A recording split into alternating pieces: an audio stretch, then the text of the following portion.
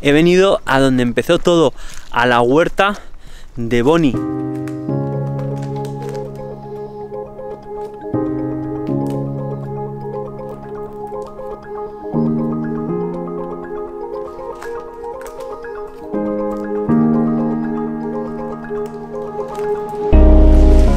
Y este camino por el que venía caminando ahora está asfaltado. Se ha asfaltado hace poco tiempo y mm, hasta hace cuatro días esto también era todo un camino, no voy a decir forestal, pero casi. Había muchos más pinos, árboles de ribera porque ahí hay un arroyo que pasa. Y también como curiosidad deciros que en este terraplén, en este cortado que hay, que ese cortado ya estaba desde hace tiempo porque la carretera esta estaba programada hace años ya, pero estuvo años el corte hecho y todo era tierra. Y los abejarucos en primavera en el terraplén hacían sus excavaciones, sus túneles y era una gozada porque un, un cable de la luz que pasaba por encima, los abejarucos se posaban, cazan al vuelo. Los abejarucos ya sabéis que son entomófagos que se alimentan de insectos, los que vuelan los cogen al vuelo y los que están en tierra los cogen en tierra y los llevan a, sus nidos para alimentar a sus crías. Bueno, pues esto era un espectáculo. Yo me ponía ahí con unos, con unos prismáticos, eso también era un terraplén de, de tierra, y, me quedaba tiempo mirando también los, los pájaros. Aquí, en, este, en esta pequeña isla forestal que hay en este pueblo donde estamos, estamos en el norte de la Comunidad de Madrid, a poco más de 20 kilómetros del centro, donde tengo mi casa también, y durante años he estado viniendo aquí a la huerta de Boni, para, trabajar con él en su, en su huerta. Aquí él me enseñó a cultivar de todo, de cebollas, ajos, puerros, zanahorias, acelgas, escarolas, lechugas, patatas, melones, sandías, hasta garbanzos, lentejas, almortas y, y cuantas cosas más que aprendí a sembrar al otro lado, al final de este camino, que refleja el que ya Bonnie no está, porque Bonnie murió hace más de un año y el camino lo ha comido la vegetación, hay árboles caídos.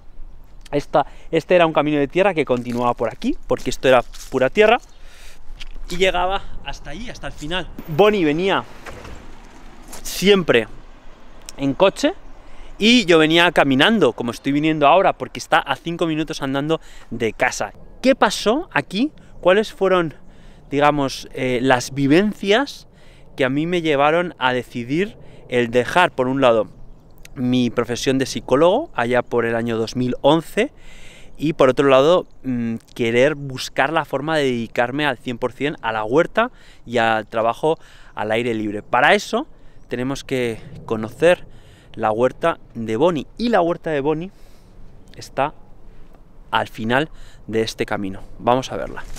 Hace seis años que no vengo por este camino con intención de sembrar algo. Hoy no vengo con la intención de sembrar algo, pero hace seis años sí entraba por aquí para sembrar ajos, sembrar habas.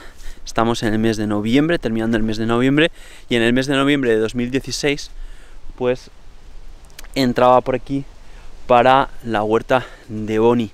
Aquí es donde pasé cinco años de mi vida, eh, sobre todo desde 2009 más o menos a 2014, mucho tiempo, luego pasé más tiempo, digamos, eh, pero de una forma más intermitente, pero durante esos cinco años más intensivos eh, estuve aprendiendo aquí con Bonnie y este rinconcito tan desconocido incluso para la gente que vive en este pueblo, pues fue un tremendo descubrimiento, descubrir a Bonnie y descubrir que teníamos la posibilidad de resucitar juntos la que había sido su huerta durante, durante un siglo, porque fue su padre el que comenzó eh, en este lugar hace ya pues muchísimos años, ¿no?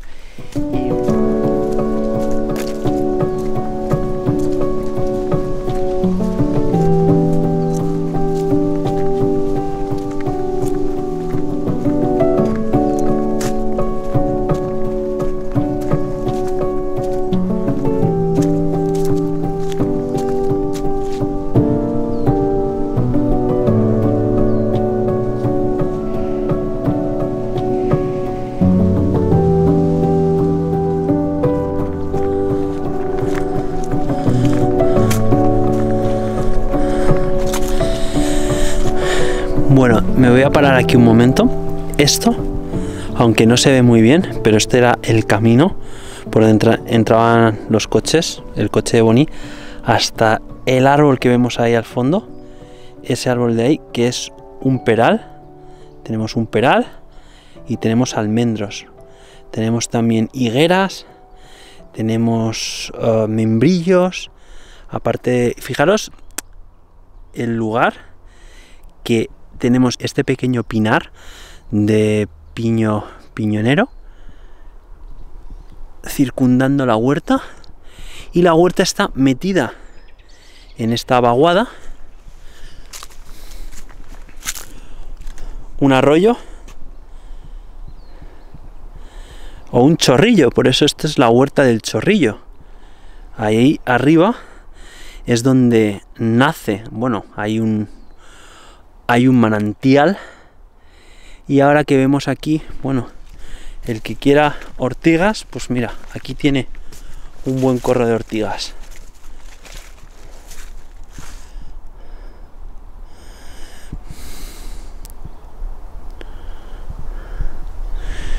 Y entonces la huerta pues tenía este cilate, como le diría el Boni, todo, todo este espacio a la derecha del arroyo y a la izquierda tenía pues el otro lado, que en total hacen media hectárea, media hectárea aproximadamente.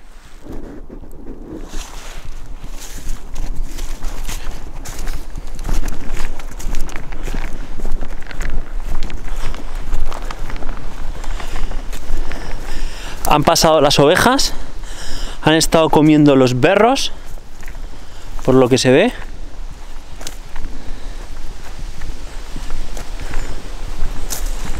Y, y bueno, pues esto es una huerta, digamos que abandonada.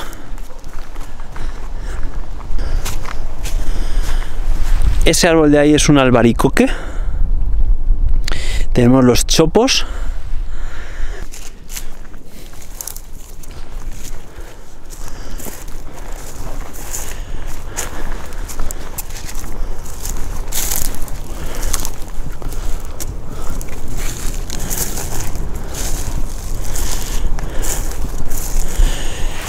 ¿Cómo están las esparragueras? ¡Qué maravilla! Aquí cogíamos muchos espárragos. Y todo esto lo inventó Bonnie. Tenemos el agua, que aquí hay un nacimiento de esta quebradita pequeña va saliendo el agua que pues se hace aquí una lagunilla si es que pones algún freno para que no se salga el agua. Entonces, Boni lo que hizo fue construir esta, este aljibe y eh, lo que, bueno, el sistema es bastante simple, pero hay que hacerlo, claro. Por esos tubos entra el agua, se va llenando, se va llenando, se va llenando, se va llenando, y aquí, en estos tubos de, salida, poníamos unos trapos. ¿Para qué? Pues para taponar y que se fuera llenando. Y de aquí ya, cuando tenía una altura suficiente, pues ya abríamos donde queríamos. Si queríamos abrir por aquí también para que fuera el agua para abajo. O abríamos por aquí para que el agua saliera por aquí. Y regábamos y regábamos a surcos. Este lugar es un no parar de rapaces, ¿eh?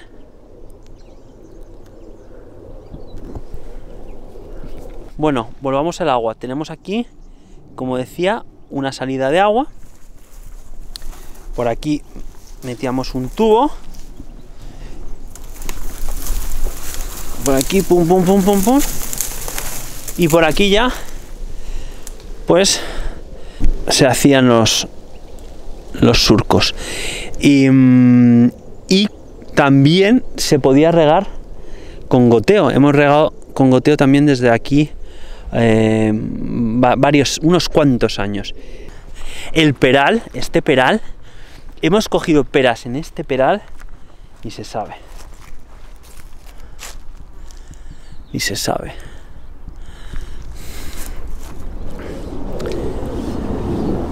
Pues aquí empezó todo, en la huerta de Bonnie. Me encanta esta, esta panorámica.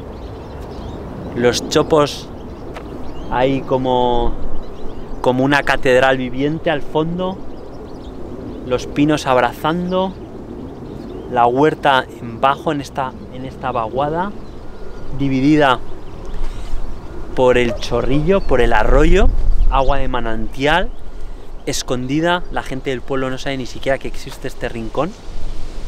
Y cuántos días, cuántas horas, cuántas tardes aquí con Bonnie, disfrutando de la huerta, de los pájaros, de las grullas que pasan cada, cada otoño y cada primavera en sus migraciones. Y como es un sitio poco transitado, pues hay muchos pájaros, hay mucha vida. Y, y bueno, pues es nostálgico el, recuerdo donde allá se dice que no, no vuelvas a donde has sido feliz, ¿no?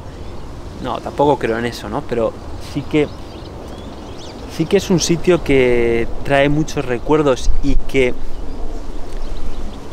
hoy estoy haciendo lo que estoy haciendo debido a esto. Este canal de YouTube lo estáis viendo gracias a que existe este lugar. Gracias a que conocí a Bonnie alrededor del año 2009 y mm, me enseñó tantas cosas.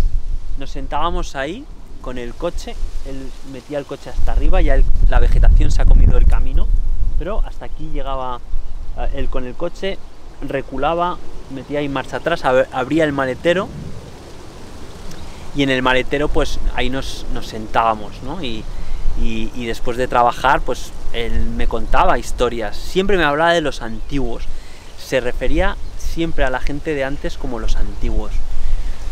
Y, y, así hemos ido viviendo, siempre me terminaba con esa frase, y así hemos ido viviendo, ¿no? Cuando me contaba una anécdota, creo que soy muy afortunado porque la personalidad de Bonnie, eh, la generosidad, la paciencia, era un hombre muy tranquilo, un hombre soltero, no tuvo, no tuvo hijos, por eso también pudo dedicarle más tiempo a la huerta.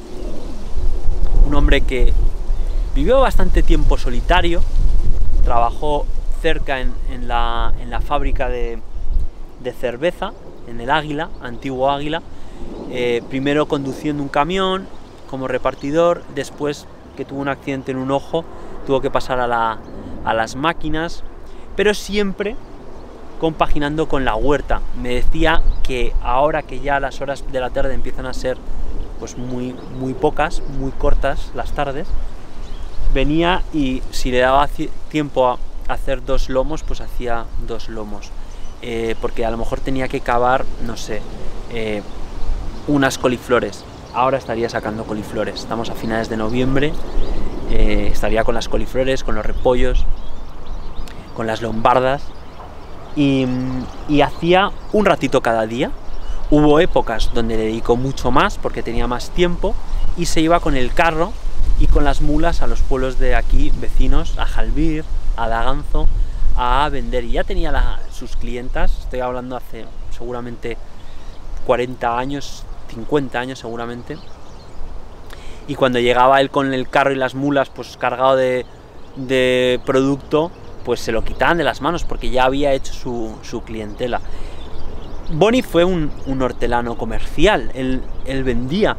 Lo que sucede es que yo creo que nunca vivió 100% de la huerta. Tuvo momentos en los que sí que se dedicó mucho más a, la huerta y otros en los que solamente, como decía antes, eran las horas que tenía libre durante la semana y luego venían los fines de semana, eh, pues esas horas libres las dedicaba a avanzar cada día un poquito, cada día un poquito. Y eso son una de las mil cosas que me enseñó Bonnie, de que cada día un paso. No importa, hoy a lo mejor la tarde de hoy te va a dar para hacer pues una hora, una hora y media. 45 minutos, hazlo. Porque cuando sumes 45 más 45 más 45 de la semana, vas a haber hecho mucho. Muchas veces recuerdo que mis amigos me, mm, me, me invitaban a un plan que había en Madrid, que vamos a, esto, a lo otro, a la ciudad. Y como, pues, como cualquier chaval de 25 años, ¿no? Que pasa mucho tiempo con sus colegas pues en, en donde sea, ¿no? Pero muchas veces decía que no porque tenía un plan mejor. Y el plan era este. Aunque Bonillo nos llevábamos 50 años, eh, yo podía ser, no sé si un poco raro, o al menos no conocía otro chaval de mi misma edad que, tuviera esas ganas de pasar más tiempo con Bonnie aquí en la huerta que irse con sus colegas. Eso fue algo que surgió de forma natural. Yo cuando empecé a venir a la huerta con Bonnie, cada vez me fui aficionando más a estar aquí y cada vez tenía eh, pues más ganas. Recuerdo un verano que estaba en la playa, imaginaros, y entre dos árboles que hay aquí, hay, hay unos almendros ahí, en verano ponía una hamaca. Y alguna noche pasé ahí, dormí en, la, en la hamaca. Y me acuerdo de estar en verano con mi, en la playa con mi familia y volverme antes a la huerta porque quería vender los productos de la huerta a, a, los vecinos. Tenía mi trabajo por aquel entonces, no lo necesitaba, pero me hacía ilusión el que la gente, los vecinos de aquí, pues pudieran tener acceso a lo que aquí producíamos, que producíamos mucho, iba con dos cestas cargadas, tocaba el timbre, oye, mira que tengo una huerta aquí ecológica en el, pueblo y tal, y tenemos estas verduras. Eso lo hizo tres días. Al cuarto día ya sabía a qué casa tenía que ir a tocar el timbre porque me iban a comprar. Y esa fue mi primera experiencia cultivando para la venta. No lo hacía con unos fines comerciales, luego ya realmente, o empresariales, vendía porque, porque me hacía gracia conectar a, los vecinos con la huerta. Y luego llegaba con Bonnie y decía, ah, pues hemos, tenemos 50 euros, pues nos repartimos 25-25, lo que fuera, ¿no? Bueno, mm, era un, extra. Mm, y, yo por aquel entonces estaba muy lejos de entender eh, lo que podía llegar a ser una, una huerta comercial bien manejada, trabajábamos con el azadón, trabajábamos haciendo surcos una parte, otra parte se regaba em, con goteo. Pero la postura era la, del azadón. Eh, también Bonnie tenía una azadilla pequeña que le gustaba mucho para plantar, por ejemplo, las cebollas y para plantar todo, que plantábamos en los lomos de los surcos, y el azadón. Y, poco más, no había mucha más herramienta. Yo no conocía escardas de alambre, no conocía azados holandesas, tilcer, ni nada de eso. Bonnie tenía un tractorcillo araba, pasaba el cultivador, también le gustaba pasar la vertedera. Por aquel entonces ya le decía, oye Boni, ¿no es mejor pasar únicamente el, el cultivador porque la vertedera está volteando mucho la tierra? Ya en aquella época empezaba yo a leer más sobre la necesidad de no invertir la estructura del suelo y conservar lo más posible esa estructura y demás, pero bueno, Bonnie me hacía caso a ratos. Eso sí, cuando yo llegué aquí, eh, hace 12 años aproximadamente, le dije a Bonnie, Bonnie, yo hago todo lo que usted me diga con tal de que no usemos ningún producto químico. Hicimos así, nos dimos la, mano y así estuvimos 5 eh, años concretamente mano a mano muy todos los días. Eh, yo trabajaba, pero por las tardes, si salía a las 5, pues hasta las 9 me tiraba aquí. Luego hubo, cuando dejé el trabajo, ya me metí a hacer huertas, eh, pasaba mucho más tiempo eh, con la huerta de Bonnie y, en las huertas que ya estaba emprendiendo, como, como mi primer emprendimiento haciendo huertas en jardines particulares. Y, mm, y como diría Bonnie, y así hemos ido viviendo.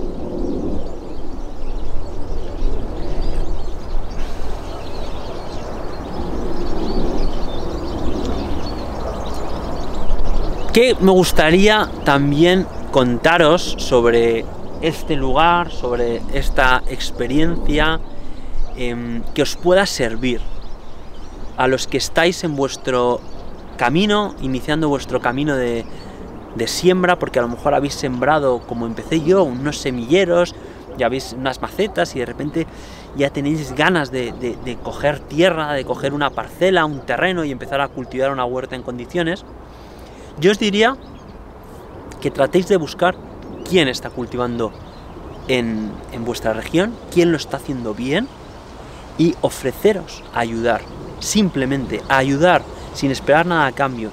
Ese estar con la persona que sabe, ayudar y poco a poco ir aprendiendo, eso no tiene precio realmente. Yo me pegué aquí unas palizas tremendas desbrozando con desbrozadora, con el ocejín limpiando los arroyos, limpiando las pilas, limpiando todo, bueno, todas las zarzas. Bonnie quería tener, digamos que la vegetación periférica muy controlada. Y había vecinos que me decían, ah, te estás dando una, unas palizas, te vas a cansar. Y yo lo hacía encantado. Yo venía el sábado a las 9 de la mañana aquí y, con unas ganas tremendas. Y muchas veces salía menos los fines de semana sabiendo que si me acostaba tarde, al final iba a llegar más tarde el sábado por la mañana. Y, lo hacía encantado. Y así estuve muchos años. Em, pero eso también me, ayudó no solamente a, manejarme en ciertas labores en el campo, sino a que, a que Bonnie estuviera contento y tuviera más ganas de que plantáramos de todo, porque él decía, aquí a la huerta hay que venir. Y efectivamente a la huerta hay que venir. Y mm, mi recomendación es buscad a vuestro Bonnie, si, si es que lo hay cerca vuestro, a esa persona con la que podéis pasar tiempo aprendiendo. Hay mucha gente mayor que yo creo que, igual que, que Bonnie, que ya no estaba cultivando, ¿eh? yo cuando le conocí, él estaba ya jubilado, haciendo vida de señor muy mayor, en la plaza del pueblo y, sentado en un banco eh, prácticamente eh, sin hacer nada. Pero, gracias a un amigo mío pastor, Timoteo, que ya murió con 90 años, grandísimo amigo mío de aquí, de este pueblo, pues conocí a Bonnie, porque yo le pregunté, oye, Timoteo, ¿quién tiene un, terreno para que pueda cultivar? Porque estaba haciendo ya por aquel entonces una huerta yo en, la terraza. Y, me puse en contacto con Bonnie, fuimos a buscar a Bonnie y, Bonnie me dijo, bueno, pues vamos a ir a la huerta mañana y te explico lo que hay. Y, bueno, pues ahí empezó todo y llevaba años abandonada. Poco a poco Bonnie se fue animando más al verme que yo empecé a hacer esto y empecé a hacer cosas fatal. Me acuerdo que para regar yo inventé unas compuertas con unas planchitas de, de metacrilato que compré por encargo y hacía como unas presillas para abrir y cerrar. Bonnie vio lo que yo había hecho y no me dijo, no, eso está fatal. Me dijo, yo lo voy a hacer a, mi forma, si quieres, unas cuantas tomateras.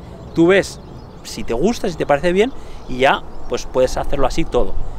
Efectivamente, Bonnie cogió el azadón, empezó a dibujar como dibujaría el mejor de los artistas en la Tierra, porque manejaba el azadón como un eh, cirujano el bisturí y me hizo pues las tomateras con un riego adecuado por, por surcos y, a partir de ese momento pues le dije, pues sí, lo vamos a hacer como, como tú lo haces, Bonnie. Tuve que quitar ese invento, pero bueno, son, cosas que uno va intentando y gracias a que tuve a Bonnie al lado que me dijo, vale, buen intento, pero ahora te voy a enseñar cómo se hace de verdad. Pues ahí vas aprendiendo. Entonces, mi recomendación es busca a esa persona que, que sabe y, dedica un tiempo. También vas a descubrir si realmente es, es, tu camino. Yo gracias a pasar aquí tanto tiempo descubrí que esto era lo que quería hacer.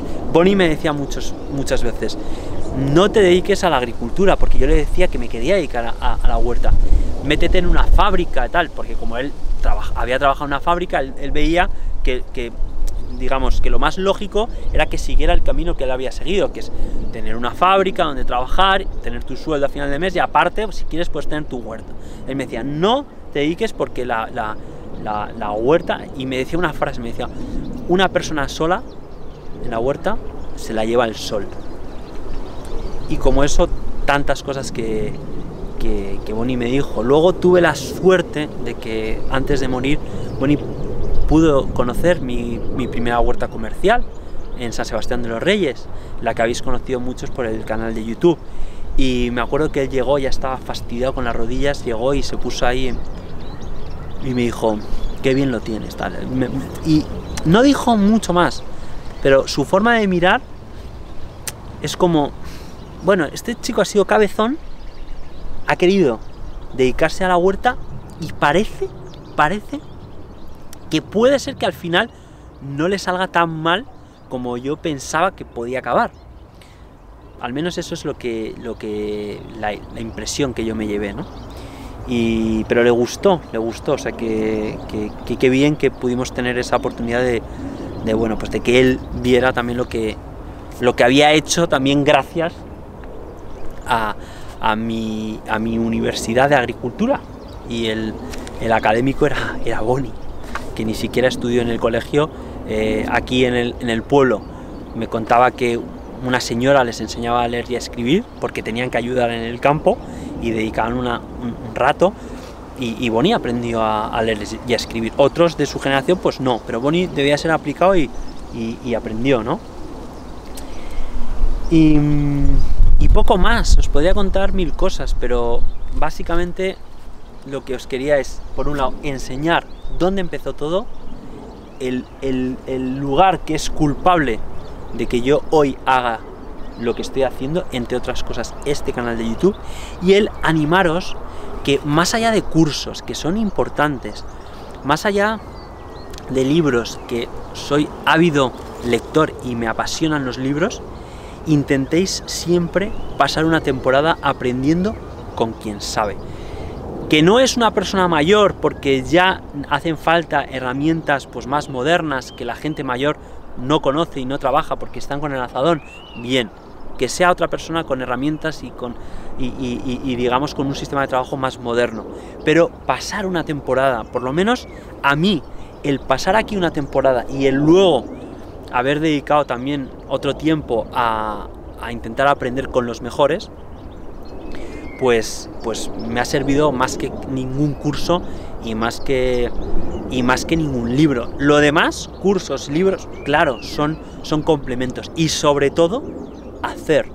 Donde sea, hay que, hay que patear el lugar donde estéis. Eh, si estáis buscando tierra, hay que coger la bicicleta, hay que tocar muchas puertas, hay que, hay que hablar con la gente mayor y, y conseguir, como estoy intentando hacer ahora en Portugal, ese espacio para, para cultivar.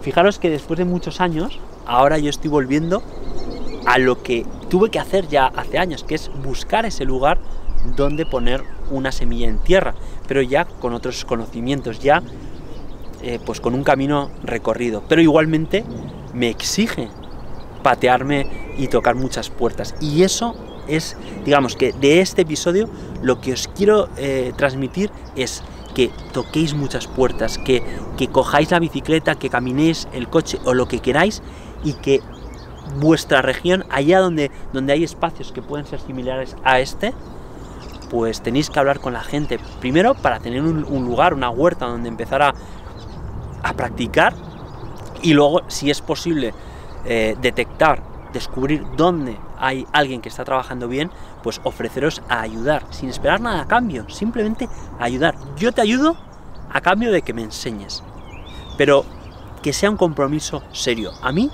me, me funcionó. Lo dije también en otro episodio, no hay recetas universales. Lo que a mí me ha servido no os tiene por qué servir a los demás, pero adaptándolo a vuestro contexto tengo la esperanza de que a más de uno pues os pueda ayudar eh, esta experiencia. No hay hortelanos en activo en este pueblo como en tantos otros pueblos. Huertas como esta, abandonadas, hay muchas y, y por eso también mi llamamiento a que toquéis puertas porque podéis obtener un sí, por favor. Ponte a, cultivar y que esto de alguna forma alguien lo mantenga. Estoy seguro que hay mucha gente que está deseando que le toquen la puerta para este tipo de ofrecimiento. Y aunque no hay en este pueblo hortelanos en activo, que yo conozca, sí hay un hortelano aficionado que aunque ha sido ebanista toda la vida, hace poco se ha jubilado y tiene más tiempo para dedicarle a, a su gran afición, que es la huerta y es la Huerta del Zapatero. Está aquí en este pueblo también y vamos a conocerla.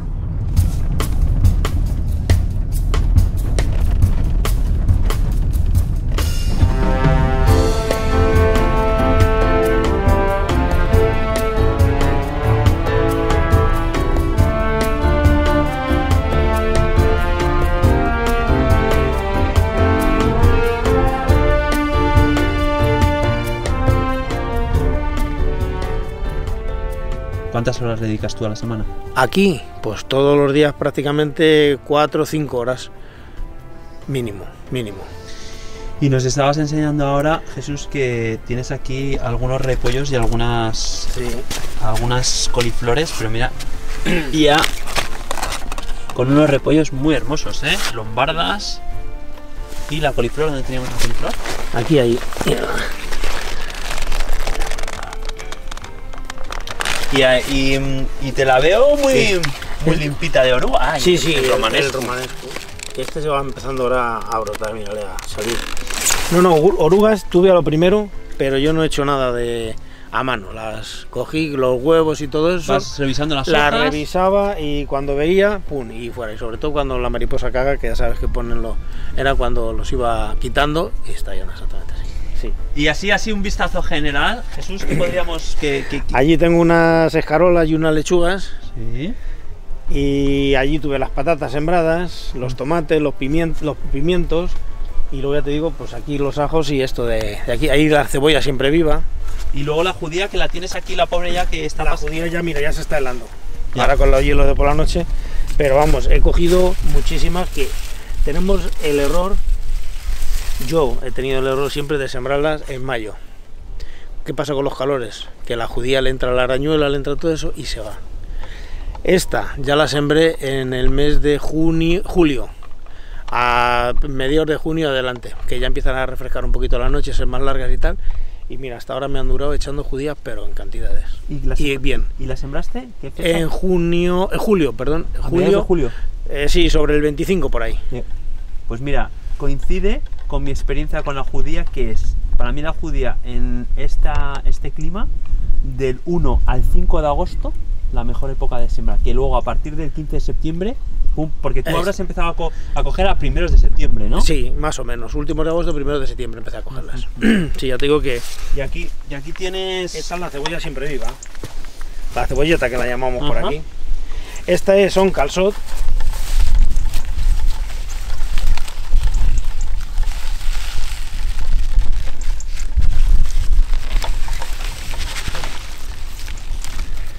Y esa es de la morada. Tú- tú y yo hace no. cuántos años nos conocimos, Jesús? Pues hará casi ocho años, por lo menos. Por lo menos. Mira, estas que tengo aquí son de la simiente que me diste tú, Ah, la caléndula. la caléndula. Ah, ¿Te acuerdas mira, que la llevabas sí, en el bolsillo? Sí.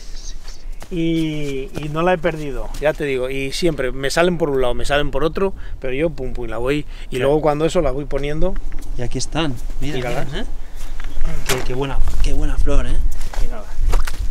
Y además que le encanta cuando empieza a hacer el fres- fresquito ya, ¿eh? Sí, sí, ya te digo que es una planta muy agradecida. Los pimientos, que el pimiento siempre aguanta un poquito más, ¿eh? Que es el, más que el tomate, ¿verdad? Del frío, El digo, pimiento- ¿eh? Sí, sí, míralo. Ya los he quitado algunos, pero mira, hay un pimiento.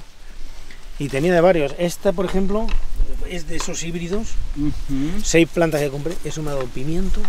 Impresionante, de ese larguito. Italiano, ¿no? Sí, sí, del italiano. Impresionante ese seis. Luego estos son de la simiente que yo tengo. Pero ya te digo, ese tengo de la vera también. Ajá. Mírale. ¿No? Garra- No, no eran garras, eran la simiente en bote, en alveolos. Ah. Y entonces las garras compré luego eh, cinco garras ahí en Viveros Laoz, que son estas de aquí. Y la verdad que. ¿Y qué tal? Muy bien. ¿Te da buen Sí, sí, espárrago? Sí, Sí, mi mujer esta vez sí quiere que siempre algún surco más. Porque no es suficiente para. Pero ya te digo que sí, bien.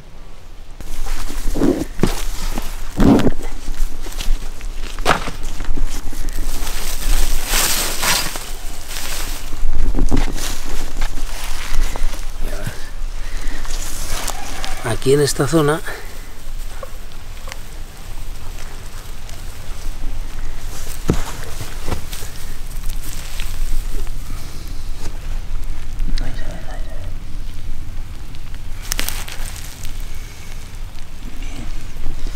Traes todo lo de casa y, todo lo de casa sí. y los restos de la huerta, Sí. ¿no? Y míralo, aquí por ejemplo, mira una, los repollos, el coliflor, todo eso con, con el heno este que se corta, pues lo voy echando y, y esto lo se está haciendo nuevo, que no sé si habrá aquí ya lombrices. Sí, mira, ya empieza a ver. En eso nuevo ya empieza a haber algunas. por la parte de... Pero esto ya te digo que, que lo saqué. El otoño. Y esto es una cosa del otoño y Huerta y en esta. todo. Pues mira, este es el, el que saqué.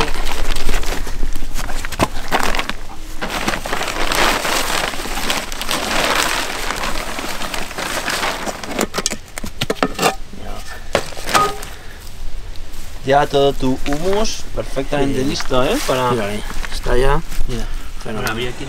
Darte las gracias por tu apoyo, por tu seguimiento, por enriquecer este canal con tus comentarios y por apuntarte, por unirte a la comunidad de huerta y emprendimiento manos de campo. Eso hace que este canal, que todo este trabajo pueda ser sostenible a largo plazo. Y además, uniéndote a manos de campo, también lo que estás haciendo es crecer, hacer crecer una comunidad que a medida que crece, se enriquece, se enriquece y que las personas que formamos parte de la comunidad pues tengamos más posibilidades de alimentarnos unos con los otros. Agradecerte de verdad tu apoyo, el que estés ahí y seguimos en el próximo episodio. Hasta la próxima.